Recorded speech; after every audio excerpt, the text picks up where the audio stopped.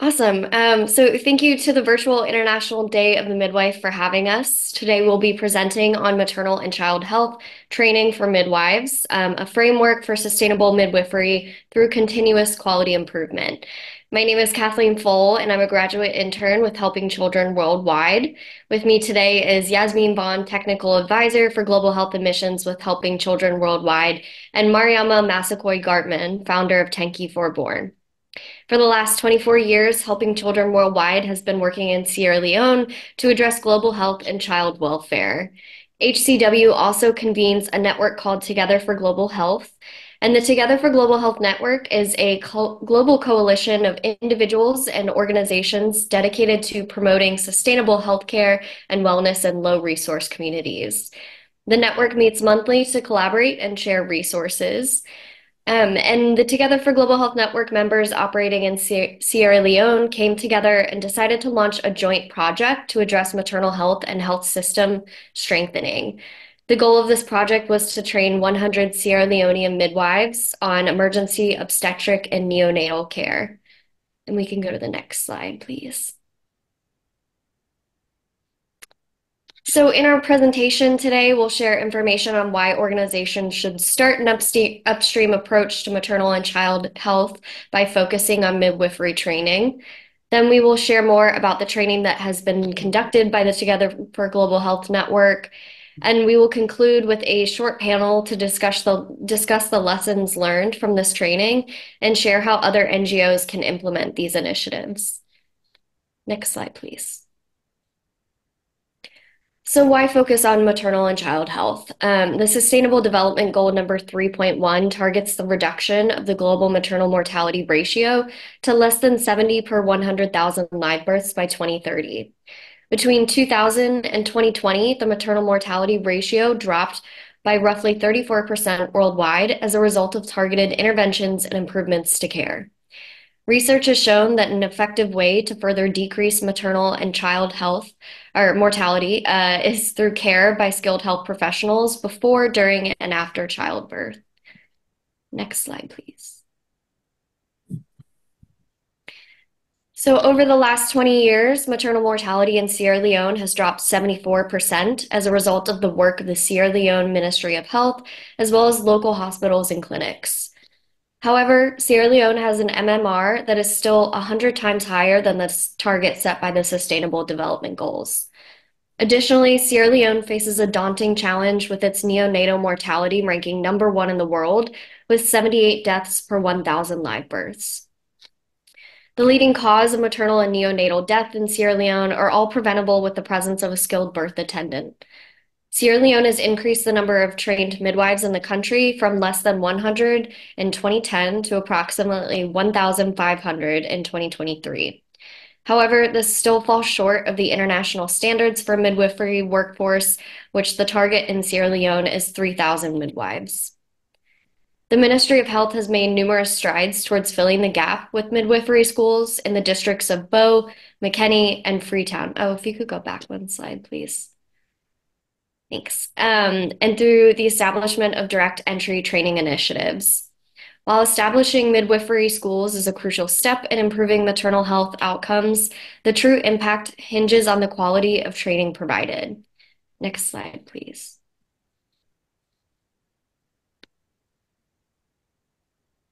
Over the last 20 years, maternal mortality has decreased by 34% worldwide, and the key to sustaining this trend is to create a workforce of competent and confident midwives. The future of midwifery is midwives who are committed to continuous learning of current evidence based practices to provide life saving and respectful maternal care. Organizations that work to train and empower midwives with education, support, and skills are investing in the sustainability of the midwifery health force because empowered midwives will have lower rates of burnout and workforce migration. Midwives are a key group to target for sexual, reproductive, maternal, newborn, and adolescent health as they provide 90% of the necessary care. However, midwives only account for 10% of the global sexual, reproductive, maternal, newborn, and adolescent health workforce. Recent research has emphasized the need for not just a larger workforce, but also a skilled and competent workforce. This evidence indicates that over half of deaths of newborns and half of maternal deaths now result from poor quality of care. Next slide, please. Oh, uh, actually, if we could go back one, I'm sorry.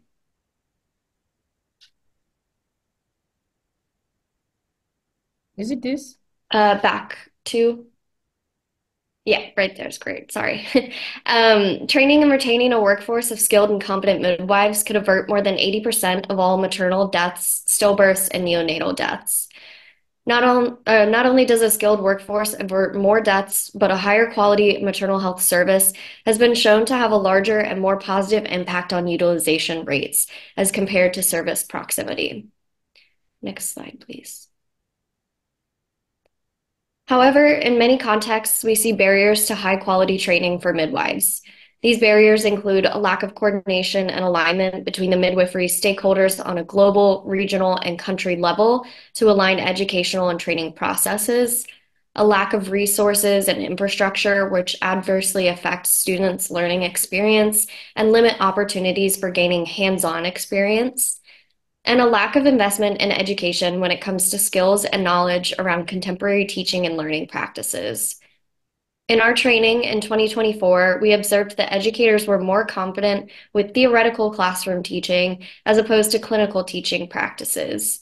This is a result of many educators not having access to clinical settings or simulation tools to support competency based education with women and babies. Next slide, please. Now we will dive more into our training experience in Sierra Leone. In January 2024, Helping Children Worldwide collaborated with six other organizations to host a five day training conference on emergency procedures in maternal and newborn health in Sierra Leone. Next slide, please. Through the Together for Global Health Network, we reached out to our contacts at the Ministry of Health medical supply resource organizations, donors interested in maternal health, and local partners to make this conference happen. Next slide, please. Altogether, 19 organizations collaborated to make this possible. The Ministry of Health provided national master trainers and recommended facilities for recruiting trainees, and other organizations provided advice on training, trainers, and materials and donors provided in kind and financial support. Next slide, please. Our training was conducted using the Helping Babies Breathe Essential Newborn Care and Helping Mothers Survive curriculum. These curricula were developed in conjunction with Jhpiego, the World Health Organization, and the American Academy for Pediatrics with low resource settings in mind. The Helping Mothers Survive curriculum was focused on bleeding after birth complete modules that teach treatment for post- postpartum hemorrhage. And of note is that the HBB uh, is an adapted curriculum for from NRP. The curriculum has knowledge assessments, but is primarily focused on skill building and is designed to be used with a high ratio of trainers to trainees. The curriculum is available free of charge online, and simulators can be purchased from Laerdal. Our 98 participants were guided through all three tracks of this curriculum. Next slide, please. Evaluation was done for both knowledge and skills using pre and post tests, as well as objective structured clinical evaluation, which is uh, also referred to as OSCEs.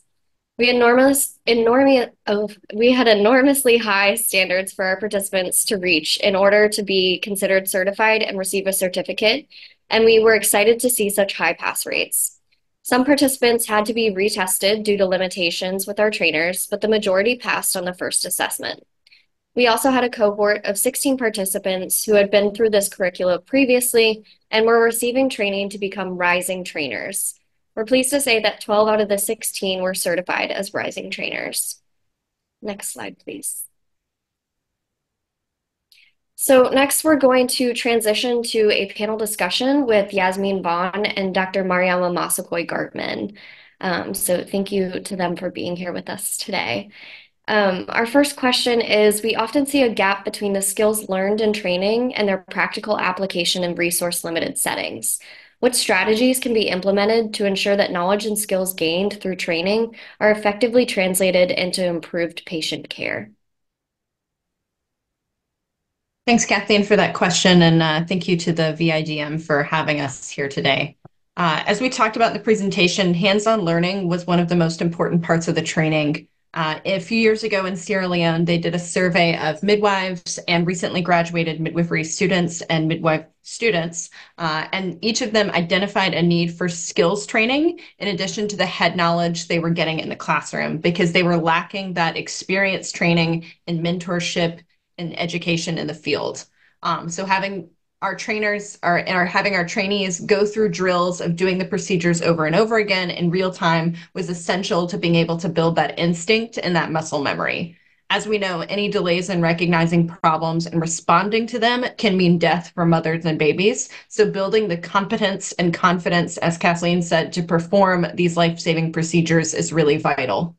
Um, secondary to that, it was also important to be able to take the time to understand the resource constraints and the experience of midwives at their facilities. So by understanding the eh, access they had to like tertiary referral hospitals, drugs, supplies, transportation, it was easier to be able to create scenarios where they could picture this happening in their own context. Uh, so, for example, there's a medication that's in the curriculum that is not currently available in Sierra Leone. And so we only talked about it for a short time, just in case that medication becomes available, then they have some knowledge of how to use it. But we were trying to focus more on what they actually had so they could see its application more readily. Um, also, more than anything, the one of the most important strategies to employ is the critical thinking skills. The curriculum may say to do A, B, C, and D, but if you don't have access to that, gaining the skills on how to improvise and think critically about what to do is key. Thank you, Yasmin.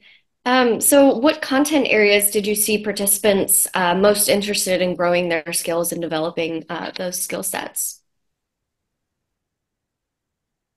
So um, during the course, we went ahead and did a pre-knowledge assessment and a pre um, a confidence assessment to see what the participants felt comfortable with. And I think um, they felt comfortable with basic management, right, of the active uh, management of the third stage of labor.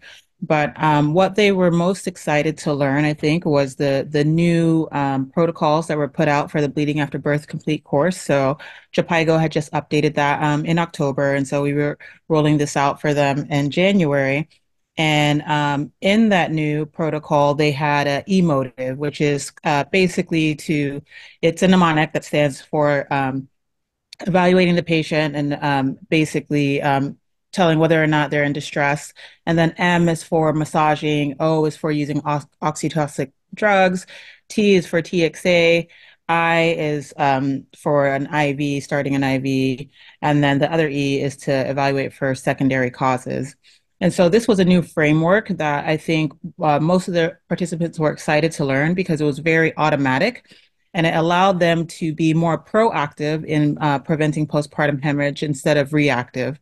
So those thresholds to um, initially start the um, activation for E-MOTIVE were lower. So you're not waiting for a lot of bleeding for the woman to be really in distress.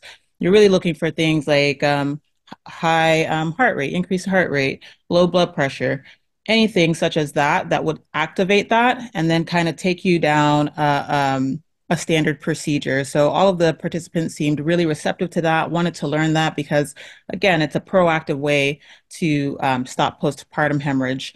Um, another thing that they were interested in is um, the NASGs or the non-pneumatic anti-shock garments. So that was another um, option during the Bleeding After Birth course, and Healy International Relief Foundation um, brought multiple of those garments over so we could teach them. And essentially, what that garment does is it provides compression outside of the patient on the aorta and it stops bleeding from from the umbilicus down. So it keeps perfusion to your essential organs, your brain, your heart, those things for the mother to survive, and it stops bleeding from the uterus. So all of the midwives got to have hands on with that. And then um, Healy International Relief Foundation left some of those there um, in the facility. So I think those were the two highlights that um, most of the participants really wanted to learn and were excited to gain those new skills. Great. Um, so how can we best leverage the knowledge and experience of local local healthcare professionals and midwives when designing and delivering maternal health provider training programs?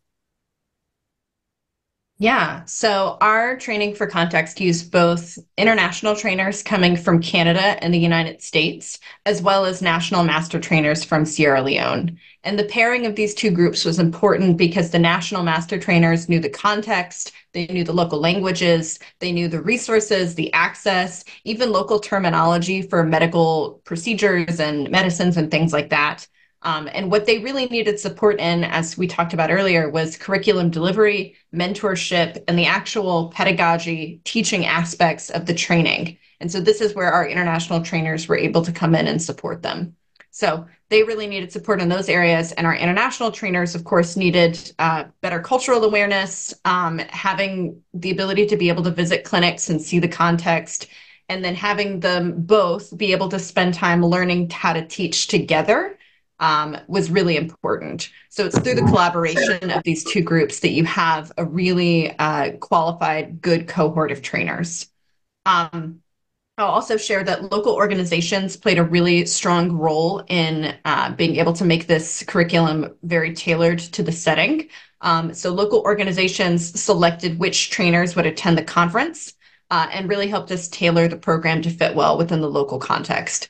So, for example, we originally were planning to do a two week training, but we're advised to condense it to five days because midwives that were coming from smaller clinics may be the only person that's on duty for a while, and we did not want to take them away from their clinics for too long. Um, so, recognizing the important voice that they bring to a table was a really big piece in our success. Thank you. Um, so how can we leverage creative training solutions to ensure effective knowledge transfer, even when access to most experienced trainers might be limited? Um, so part of our training, or what was embedded in our training, was a train the trainer program, right? So um, that was one way that we focused on um, providing an opportunity to have kind of that sustainability, where we taught these trainers how to do the curriculum so that they didn't have to rely on us to be there. Um, I think another thing that we use, and that's important, is that um, while we went there in January and we did the training, we also realized that it's not really a one and done thing. So we have kept in, in touch with um, multiple practice coordinators. So basically, those uh, participants that scored really high on their OSCEs that showed um, initiative and interest in helping their local facilities were designated as practice coordinators. And um, Tanky went ahead and provided training material and supplies so that they can continue that training in their um, local clinics and facilities. And every every month we have a touch point of making sure that they're doing that training and keeping it up because we know those are skills that if you don't use them, you lose them. And um, that's another way to kind of make sure that that um, knowledge is transferred.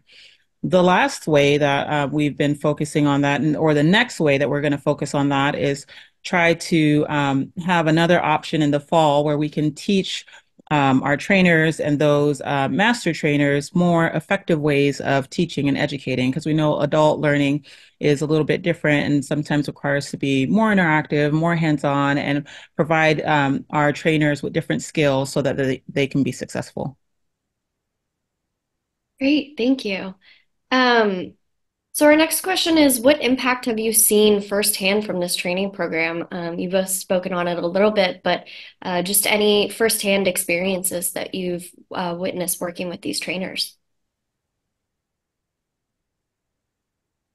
Um, yeah, so um, I'll go ahead and say so in these groups where we kind of follow them and monitor them, um, one of our rising trainers shared this um, incredible story, um, which is yeah, just incredible about um, how she was um, the only midwife there and had to go to a meeting for several hours. And so her maternal child health aide, which is kind of a lower level provider, had to cover the floor. And there was this postpartum patient that was bleeding a lot. Um, and so she instituted, right, the E-MOTIVE and um, massaged her uterus. She gave her oxytocin drugs. And then um, she was still bleeding. So they went ahead and they looked at um, her placenta, which is something that they learned from the course. um, looked at the placenta and saw that there were pieces missing, and so went back and removed those pieces from the uterus. Um, they had also started an IV.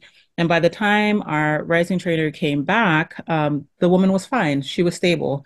And the maternal child health aide, the MCH aide, gave her a report on um, everything that had happened.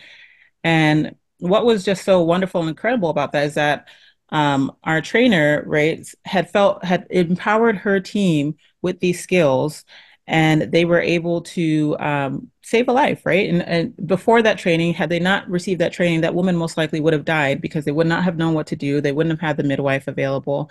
And so, just to see how that trickle down effect happens and how uh, people can be empowered um, um, was really great to see.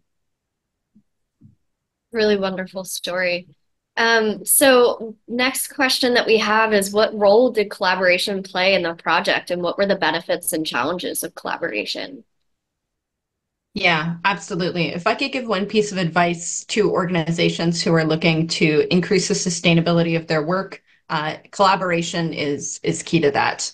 Um, so as Kathleen said in the presentation, we had about six organizations that came together to really be the, the core team on this, but it was over 19 organizations that collaborated to make this possible. Um, speaking for ourselves and for others a little bit, um, we really feel that we couldn't have accomplished what we did on our own. Uh, and by being able to work together, we were able to leverage strengths and resources to be able to do more. Uh, so Mariama and her organization, Tinky for Born, brought the curriculum expertise and the knowledge. They also procured the simulators for our training. Um, other organizations brought material resources together, and we were able to recruit trainers across a variety of organizations that had different expertises across the country that were really helpful. Um, additionally, we even had organizations that didn't necessarily participate with us. They didn't send a trainer or they didn't, you know, come to the conference themselves. But if they had experience doing this training, we consulted with them to determine if there were potential pitfalls to avoid, areas to leverage, things like that, so that we learned from their mistakes and were able to not uh, repeat them. Um, and if they were also planning to do a training, there was a few organizations that are doing training in Sierra Leone on this particular curriculum. Um, and so we were able to share with them who we trained uh, where we were training and who we were planning to train next so that we can avoid this duplication of efforts and assure that we're reaching the right people at all times. Um, with collaboration, the challenges are, of course, just getting people interested in investing the time and money to partner with you. Um, in our experience, finding the right person or the right person at an organization to partner with is key. Um, so being able to find that one person who's really interested in the work that you're doing is already doing this and already has some stake in the work that's being done. And getting them interested in just answering an email sometimes is is the biggest thing. Um, we've also seen that asking for small things like can you loan us your stimulators? Can you loan us some medical supplies? Can you give us the contact information for the medical supply organization that you get your supplies from? Um, and then getting them invested just a little bit in that way and then allowing them to see the success of your project shows the value that having a partnership with you would have so we encourage everybody to collaborate Great, thank you. Um, and our last question, uh, Yasmin shared a little bit about some suggestions and recommendations for uh, implementing this training uh, if other organizations are interested. But Dr. Uh, Massaquoi, do you have any thoughts on that as well? Um, yeah, just to add on a little bit to that would just be, um, you know, we experience that having a plan in place and like a detailed plan in p- place is really um, is really key, right? So making sure everybody's on the pa- same page from day to day, hour to hour, just kind of having that framework so that um, the team knows what we're doing and what's expected, right? When you work with a lot of organizations, especially in different countries, um, different time zones. Um, you really can't over communicate. Um, so having multiple meetings, um, having those opportunities and touch points because we're all busy. We have um, different, um, you know, uh, pulling priorities. When you have more meetings, you can be assured that at least some of the people will be able to attend, and after a while, everybody will get the information that's needed. Um, and then also making sure that there are clear roles um, for each person in the organization, right? That everybody that is at the table understands what is expected of them, what's needed, and also that they have a voice to contribute what they think and what their idea, what their ideas are, are in order to make it successful. Um, finally, after all of that planning and meeting, um, you can be sure that when you hit the ground, there's going to be some changes, right? Like it's not it's not going to be exactly how you planned it, exactly how you expected it. So just being flexible, right?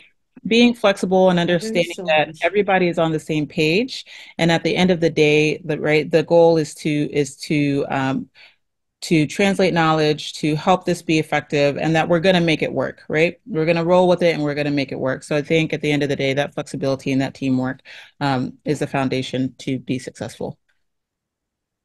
Great. Well, thank you to our panelists um, for contributing some thoughts and, and wisdom on this. Um, but before we transition to any questions from participants, um, if we could go to the next slide, please.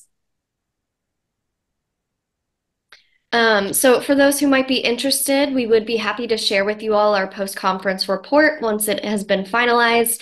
Um, we would also like to invite any of you who are interested to travel with us again, either in October or January of next year. Um, we will be carrying out this training again in a new district within Sierra Leone, um, and we would love to have you. Um, next slide, please.